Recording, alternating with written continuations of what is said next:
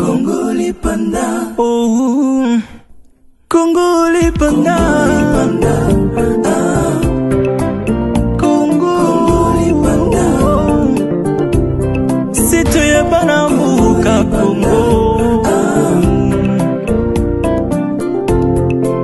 Jimmy achoki azwi likanisi ya malamu mpona kosepelisa bana mboka kongo bango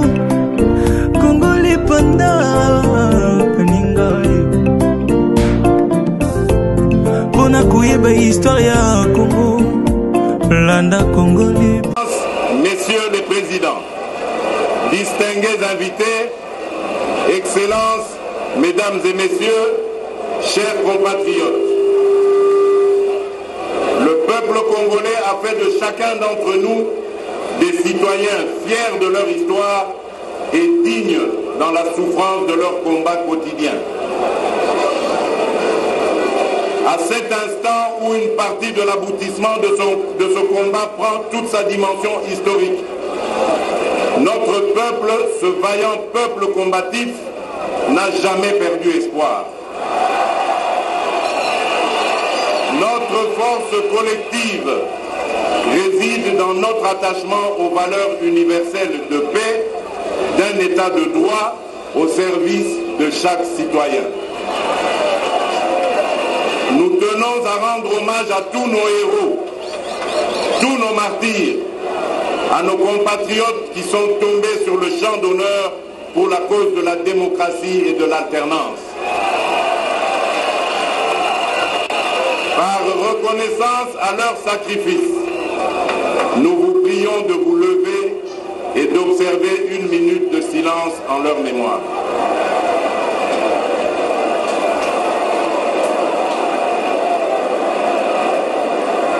Je vous remercie.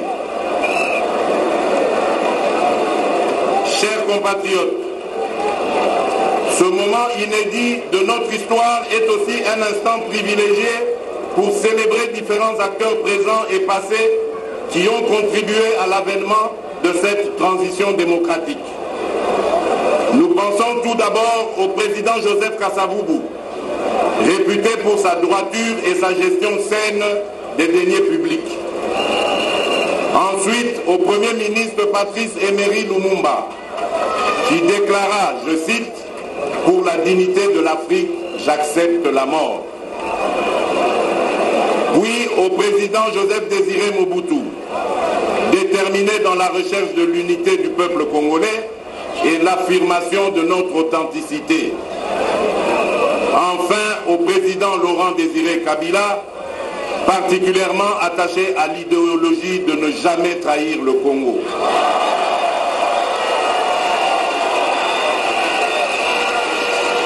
Pour ces architectes de notre souveraineté, la noblesse de leur combat demeurera à jamais dans notre conscience collective nationale. Elle est une exigence qui nous impose de réussir dans notre mission au service de notre peuple.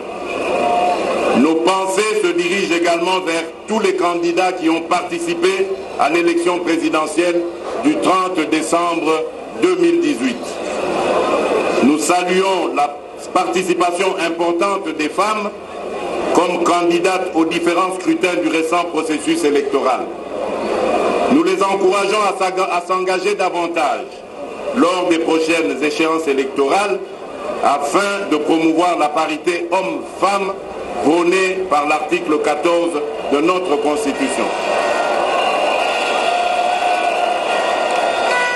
C'est ici l'occasion de témoigner notre profond respect et sincère admiration à l'endroit de notre frère Martin Fayoulou Madidi, avec lequel nous avons mené ce combat politique depuis plusieurs années. L'engagement de ce véritable soldat du peuple est un exemple pour la vitalité de notre démocratie et la responsabilité civique de chaque Congolais. Nous partageons aussi un sentiment patriotique commun avec le camarade Emmanuel Ramazani Chadari.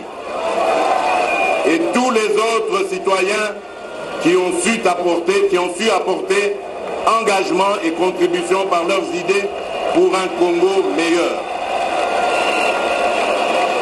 À tous ces compatriotes émérites, la patrie leur est reconnaissante. Par la consultation, le dialogue et la prise en considération de leurs idées, nous sommes enclins à les associer à la gouvernance de notre pays. Chers compatriotes, l'animation de notre processus démocratique a bénéficié de l'apport déterminant de plusieurs institutions, organismes et acteurs de la société civile. Nous voulons aussi mettre en exergue l'important rôle de la Commission nationale électorale indépendance, CENI en sigle, des confessions religieuses dans toute leur diversité, des organisations civiles et mouvements citoyens. En effet, pour la première fois, notre pays a organisé sur fonds propres, sans la moindre contribution financière extérieure, une triple consultation électorale. Néanmoins, notre dispositif électoral mérite des ajustements appropriés. Nous saluons la contribution de différentes confessions religieuses de notre pays dans la consolidation du processus électoral avec une mention particulière à l'Église catholique dont l'accord de Saint-Sylvestre a été déterminant. Chers compatriotes, cette campagne a été aussi pour nous l'occasion de valider le patriotisme de certains de nos concitoyens disposés à surpasser toute ambition individuelle pour privilégier l'intérêt supérieur de la nation. Nous avons une pensée émue pour notre frère, ami et colistier de la coalition Cap pour le changement en sigle CASH. Nous citons Vital Caméré.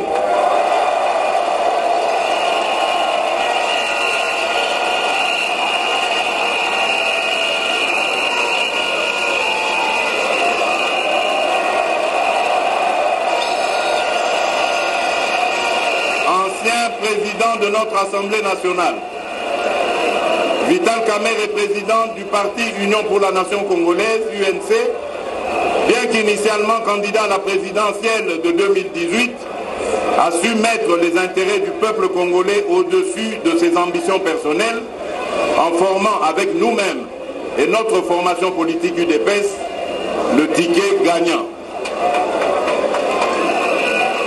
Chers compatriotes, la force et l'unité d'un peuple reposent sur la solidarité et la réconciliation nationale. Aussi, dans le cadre d'une action concertée, nous entendons engager le gouvernement et toutes les autorités coutumières de notre pays à œuvrer pour la paix et la tolérance en vue d'une cohabitation pacifique entre nos différentes communautés. Par ces vertus, l'épisode douloureux des conflits tribaux et locaux qui ont endeuillé notre pays ne sera qu'un lointain et triste souvenir. Outre nos citoyens civils, les premiers garants de notre cohésion nationale sont nos forces de défense et de sécurité qui assurent un rôle primordial dans la protection et l'intégrité du territoire ainsi que dans celle des personnes et de leurs biens. Nous leur offrirons un cadre de travail digne de leur mission pour en faire une institution véritablement républicaine. Nos forces de défense et de sécurité doivent être porteuses du dialogue entre civils et leurs différents corps de métier. La gestion de nos forces de défense et de sécurité se faire sans la moindre discrimination ethnique ou sociale. À compter de ce jour, elles doivent se sentir pleinement intégrées dans la nation par leurs actes. Nous voulons valoriser par une plus forte responsabilité l'attachement de nos compatriotes aux valeurs républicaines qui régissent notre nation. Chers compatriotes, Nous appelons les détenteurs de l'autorité à tous les échelons de notre pays au respect strict et infaillible des droits des personnes et de leurs biens, conformément à la Déclaration universelle des droits de l'homme, en leur demandant de réaliser leur mission dans le cadre légal. Dans ce contexte, le gouvernement initiera une campagne de sensibilisation de tous les agents de l'État sur leurs responsabilités vis-à-vis de nos populations. Ainsi, le ministre de la Justice sera chargé de recenser tous les prisonniers politiques, d'opinion ou assimilés sur l'ensemble du territoire national en vue de leur prochaine libération. Sous notre mandat, nous veillerons à garantir à chaque citoyen le respect de l'exercice de ses droits fondamentaux. Nous nous engageons à bannir toute forme de discrimination. Nous bénéficions à chaque étape de l'inspiration de ceux qui orientent notre vision. À ce titre, nous voulons rendre un hommage héroïque à celui qui a orienté et façonné notre lutte politique durant quatre décennies avant de nous quitter au cœur du combat le 1er février 2017. Nous avons cité le président Étienne Tshisekedi Ouamouli.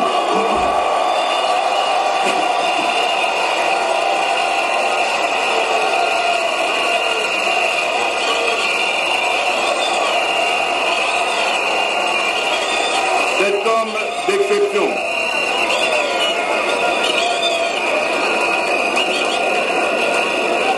D'exception, dont le sort personnel est indéniablement lié à l'histoire contemporaine de notre pays, a su par son charisme, sa rigueur morale, sa ténacité et son dévouement incarner les profondes aspirations du peuple congolais pour la démocratie et le progrès social.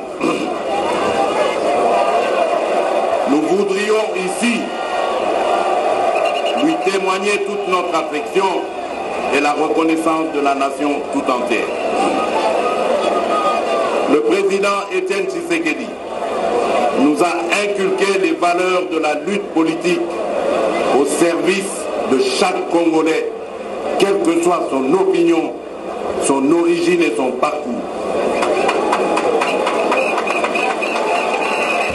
Nous allons appliquer ces enseignements dans nos actes au service de notre peuple. Chers compatriotes, dans le plus grand respect de la tradition républicaine, nous rendons hommage à celui qui aura été l'un des acteurs de la matérialisation de l'alternance démocratique et pacifique. Monsieur le Président Joseph Kabila Kabang,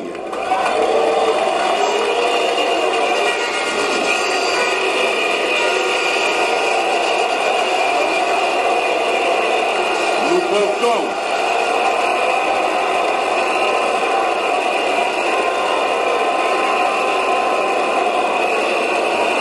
portons dans notre tradition le long combat pour l'émancipation et la souveraineté du peuple congolais par l'instauration d'un véritable état de droit.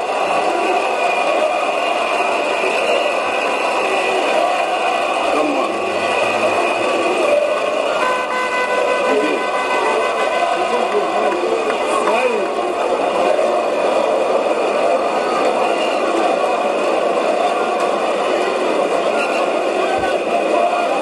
Nous tradition le long combat pour l'émancipation et la souveraineté du peuple congolais par l'instauration d'un véritable état de droit.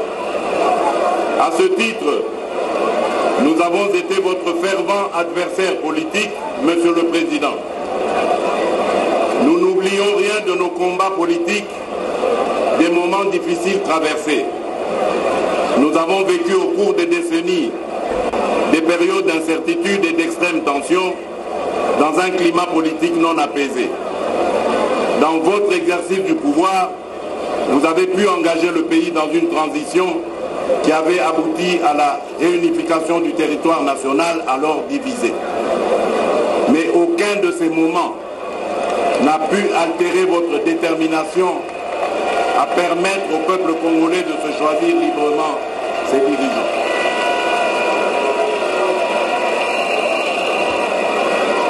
Action s'inscrit ainsi dans l'héritage de vos prédécesseurs et autres dirigeants historiques. Veuillez accepter, Monsieur le Président, toutes nos félicitations. Chers compatriotes, par sa situation géographique et en considération des enjeux géostratégiques de ses richesses naturelles et de son capital humain, la République démocratique du Congo porte une espérance pour l'Afrique et le monde.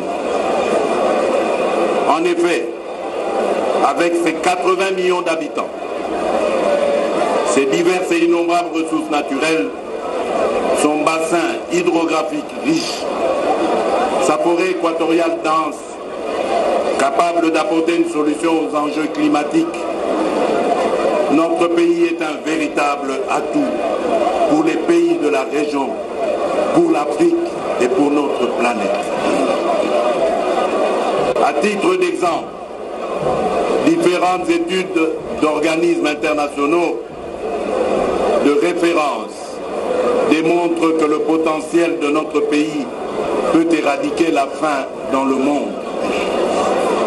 Avec ses 80 millions d'hectares de terres arables, accessibles ses 40 millions d'hectares de terres irrigables, dotés d'un programme agricole innovant, le Congo peut atteindre l'autosuffisance alimentaire et nourrir 2 milliards de personnes en, en résorbant ainsi deux fois le déficit alimentaire mondial.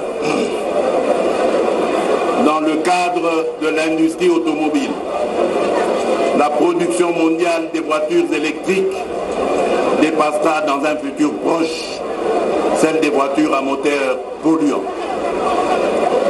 Or, comme vous le savez tous, les matières premières essentielles pour cette industrie sont le cobalt et le lithium, dont le Congo est la première réserve mondiale.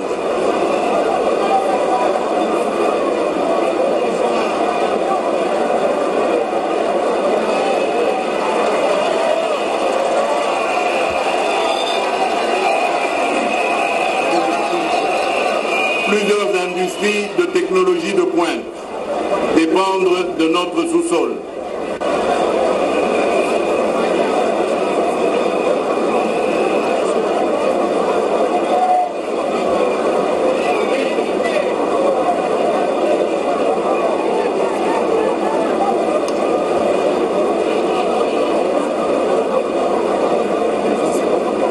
Le bien-être de chaque Congolais est le garant d'une bonne gestion de nos ressources naturelles.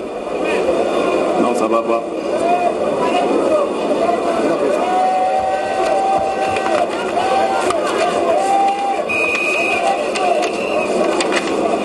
Clotilde, oui, s'il vous plaît, oui, mesdames, messieurs les invités. Oui, s'il vous plaît, madame, oui, s'il vous plaît. Donc, Clotilde.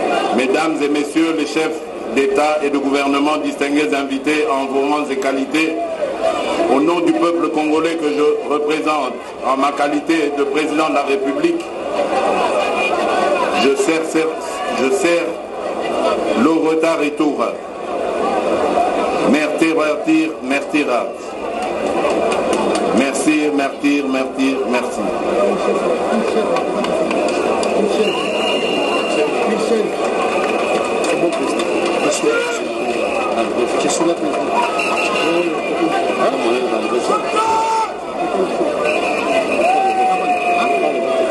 non. Il faut d'abord calculer les métiers. Président, notre démocratie, monsieur le Monsieur le président, courage.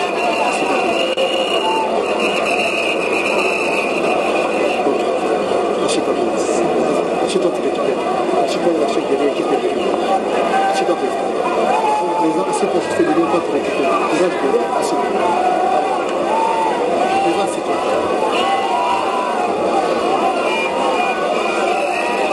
Président, Ashika la chef de récupère.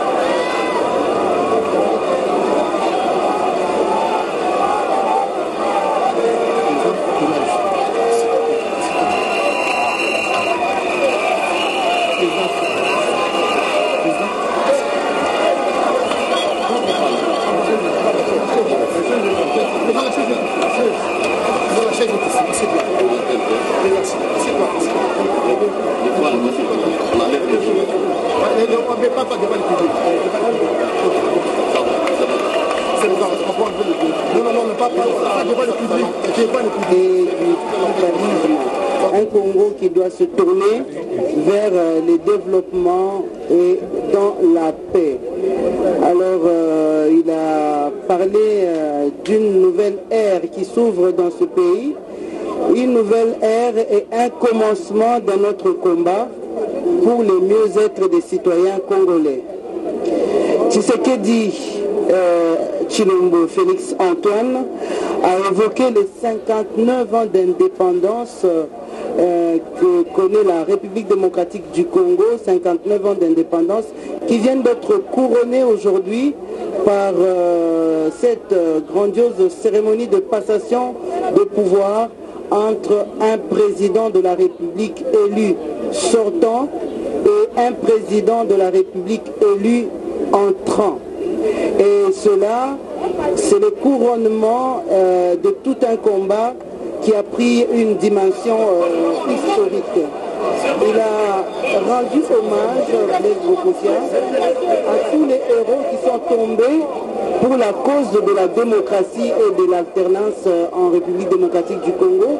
Il a cité nommément les quatre chefs d'État qui sont passés et qui sont décédés.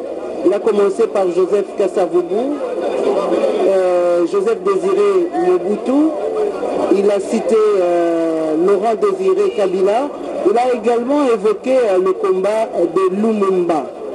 Il, leur a rendu un hommage mérité. Tshisekedi a également euh, fait un clin d'œil à tous les candidats à président de la République euh, qui ont concouru à cette élection qu'il a portée au pouvoir euh, aujourd'hui, tout en saluant la grande participation des femmes qui étaient euh, représentatives aussi dans cette élection.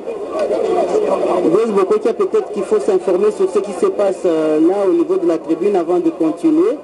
Mais je pourrais continuer à dire que Félix Tshisekedi a également euh, félicité ça peut être aussi le surmenage depuis qu'on a proclamé les résultats définis, depuis la, la, la, les résultats provisoires. Il y a l'émotion, oui, il y a oui. le surménage. Oui. C'est grand tout ce que nous sommes en train de vivre. C'est ce que dit Félix euh, est un homme. C'est un homme, il faut lui accorder cela. Il peut faire un malaise. Je, je disais que, je disais que depuis a, qu'on a proclamé les résultats provisoires et même les résultats définitifs, euh, Félix Tshisekedi ne faisait que recevoir et il dormait tardivement. Euh, C'est peut-être ça ce surménage qui a provoqué euh, ce, ce, ce, malaise qu'il a connu. J'espère que les spécialistes, on les a vus passer. Ils vont, ils vont bientôt le maîtriser. Maître Guy Mafuta, Maître Guy Mafuta vous êtes euh, député élu, euh, élu de, de Chikapa. vous venez d'assister pour la première fois à cette passation de pouvoir civilisé entre le président entrant et sortant. Quel Congo. Oh, Congo les pandas. Congo les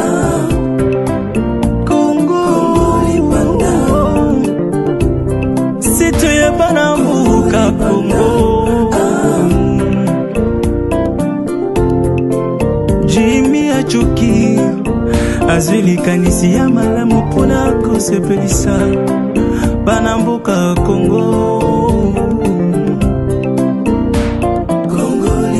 asaleli bango kongo lipanda peninga mpona koyeba histware ya kongo landa kongo